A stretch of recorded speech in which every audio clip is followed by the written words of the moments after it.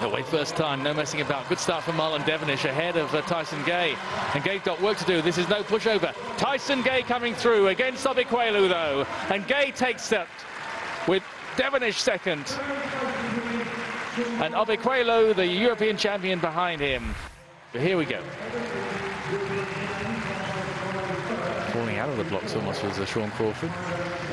And Devonish in four. Gay's got work to do. And he does it. Obikwelu trying to come up. But he's looking good here. And just takes second place from Obikwelu.